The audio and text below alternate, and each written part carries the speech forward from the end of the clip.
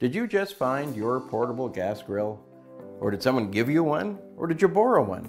And you opened it up and it looked like this. You got a little bit of work ahead of you. So in today's video, we're going to show you how to clean, prepare, and test your portable gas grill.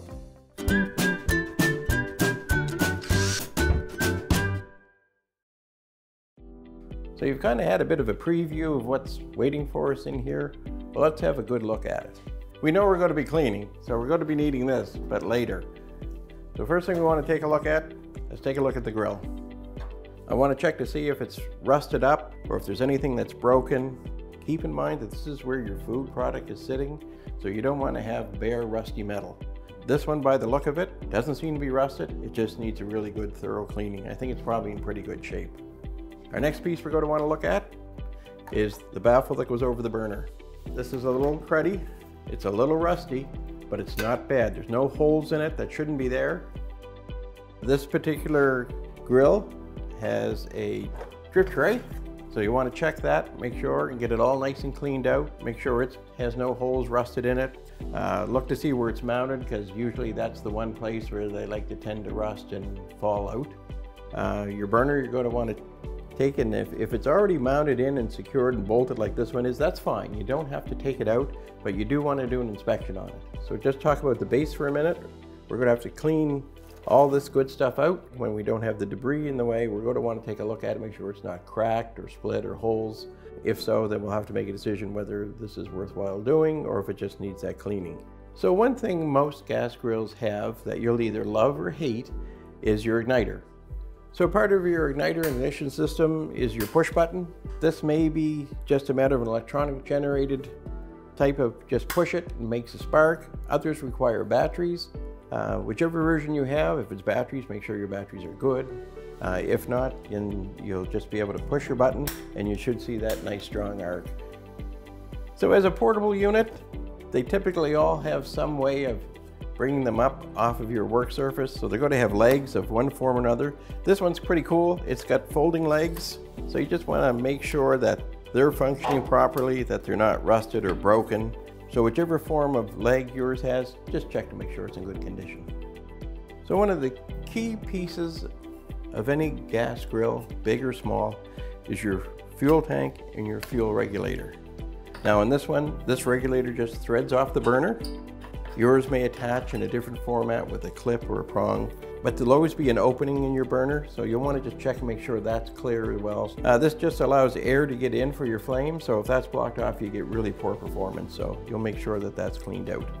Wherever it makes a connection to your tank, you'll want to look to make sure that the little hole is clear and that this one has an, a rubber ring in it, just like a garden hose has you just want to check and make sure that that's in good condition, that it's in place and it's not torn. Your cylinders are pretty straightforward. They'll come with a plastic cap on them when you get them new. Uh, just take those off and you just want to make sure if you had it kicking around for a while that the threads are in good condition and this isn't disformed or bent or dented. If it has, don't use it.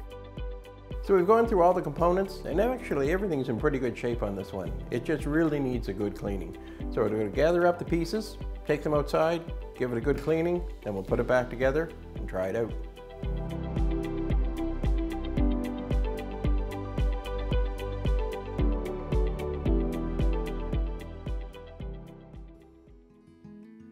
So we're outside now where I can make as much mess as I want to get this guy cleaned up. So I'm going to just basically remove the interior components, take my shop vac, suck out all that big gnarly stuff out of the bottom, make sure everything does look good in there, and then I'll do the other pieces separately.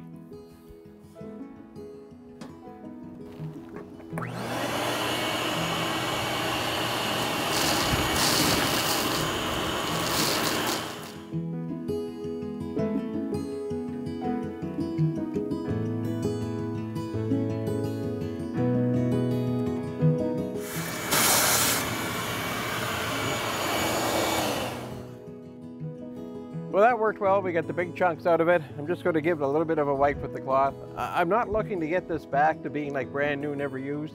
I just want to make sure that everything that's loose and chunky is out of there so that when we are using it, we've got a good flame pattern and we've got good air circulation to be able to have some even cooking. So now we've got the inside all cleaned up, got the big chunks out of it and the flaky stuff.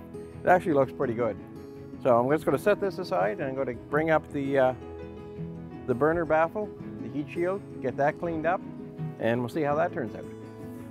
So here's our heat shield. Just going to take a brush and get rid of the big chunks off it first.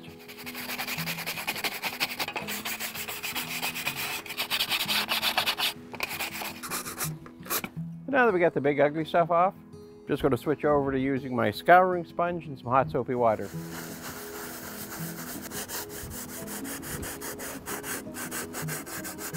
Well, that's a huge improvement from what it was.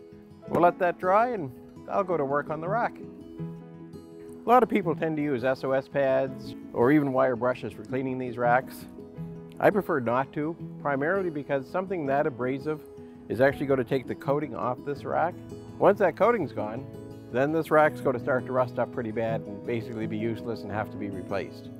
So I'm going to go again with my sponge with the scouring pad, hot soapy water, you'll see what a difference it makes.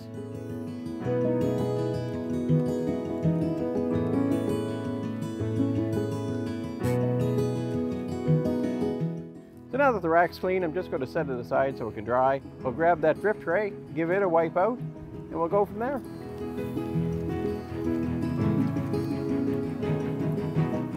So now that we got this cleaned up, I'm just going to set it aside to dry, and then we can think about putting it back together.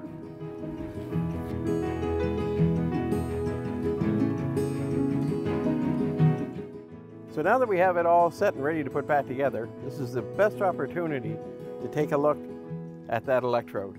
So since we were in there wiping everything down and moving all the gunk around, just take a cloth and look at where your electrode is.